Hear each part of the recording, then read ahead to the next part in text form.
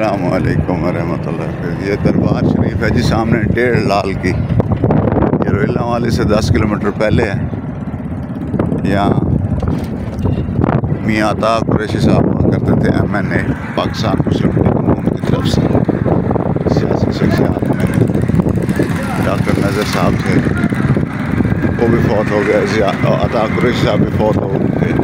یہ سامنے ان کی نظر آ رہی ہوگی فلور میں لوگوں کے دور میں اب ہیں اور ان کے بیٹے ہیں تنویر رسول وہ ان کے بیٹے ہیں عطا قریشی اور یہ سارا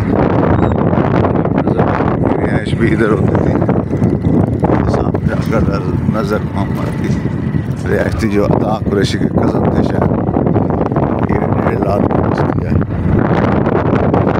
تو اب ہم آہستہ آہستہ مین جی ٹی روڈ کی طرف جا رہے ہیں جی جو مظفر گڑھ سے علی گڑھ کی طرف جا رہے ہیں اس روڈ پہ ہم جا رہے ہیں، یہ ساری ڈیڑھ ہے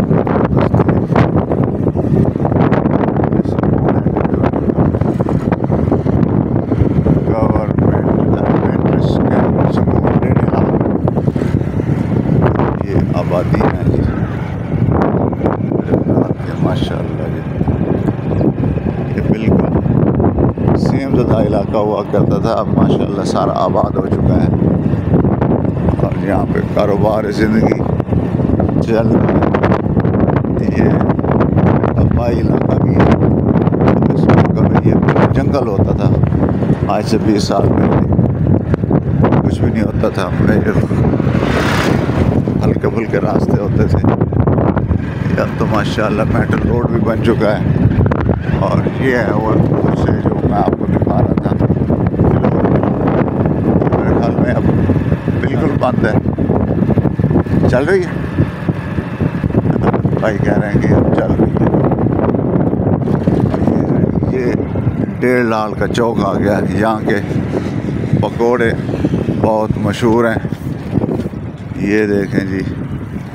یہ ہیں جی پکوڑاز۔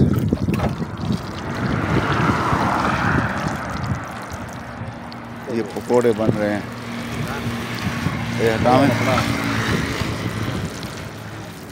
یہ یہ آلو والے ہیں۔ پورے پاکستان میں جی مشہور ہیں یہ پکوڑے۔ ان کی الگ ہی ریسیپی ہے۔ یہ اس کا خام مال تیار ہے۔ یہ بھے والے پکوڑے بنائے جاتے ہیں۔ یہ بھی ہم آپ کو دکھاتے ہیں۔ یہ بھے پڑے ہیں۔ یہ آلو والے اب یہ یہ جناب بھے والے ہیں۔ یہ بھے میں مسالہ ڈال کے ابال کے بھے اور ان میں مسالہ ڈال کے یہ پھر بیسن میں ڈال کے۔ یہ کیا ریٹ ہے جی؟ ایک سو بیس روپے پاؤ ہے۔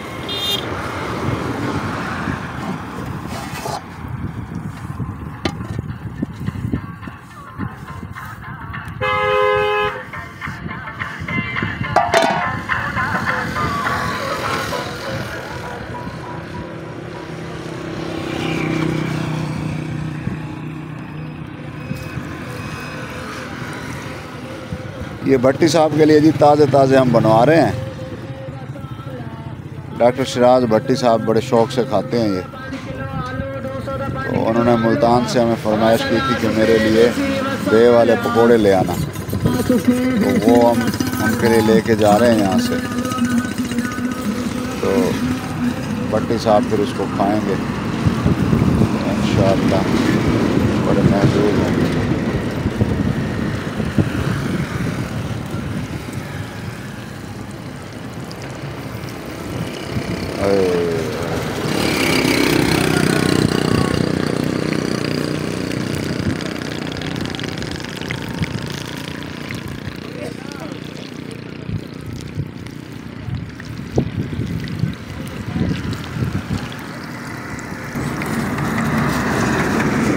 یہ اب تیار ہو گئے یہ؟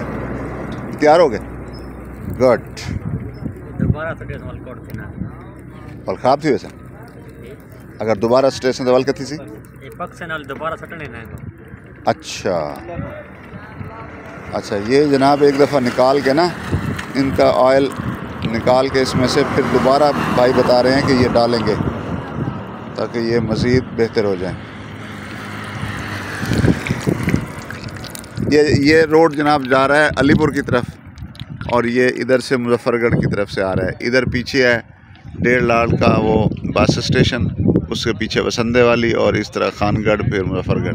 اور ادھر ہم جائیں گے آگے روہیلا والی ہے، پھر الودے علی ہے، کلر علی ہے، یہ سارے آلے ادھر آتے ہیں، جتوئی پرمٹ سب ادھر ہی آتے ہیں۔ تو پرمٹ سے جتوئی کی طرف روڈ جاتا ہے، پھر وہی روڈ ہیڈ پائنت پہ جا کے کراس کر کے پھر آگے جا کے ترنڈا۔ محمد پناہ کے ساتھ جا کے وہ ملتا ہے۔ اب یہ دیکھیں جناب، یہ ان کو میش کیا جا رہا ہے یعنی ان کو دبایا جا رہا ہے۔ یہ دبا کے پھر ڈالیں گے اس کو۔ آئل۔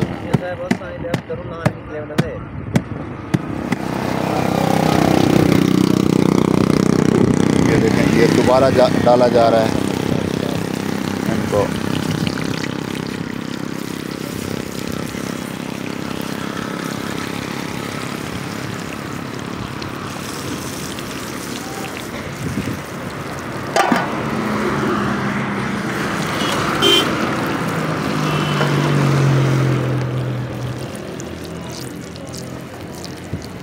اب یہ کتنی دیر؟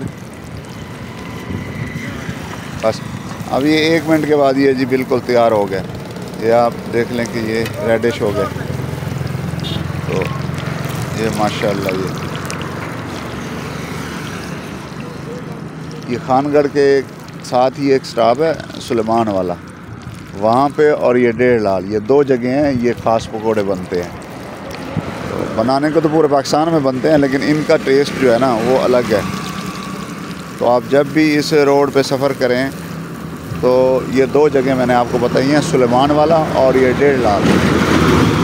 میں تو جب بھی آتا ہوں نا اس علاقے میں، تو یہ دو جگہیں یہاں سے خرید کے لے جاتا ہوں، دوستوں کے لیے گفٹ بھی، اپنے کھانے کے لیے بھی۔ تو یہ بھائی نے دو تین سال سے اب بنائی ہے یہ شاپ، پہلے وہ صرف سلمان والا تھا۔ کمپیوٹر پہ تیار ہے۔ ٹھیک ہے جی اللہ حافظ پاکستان زندہ باد۔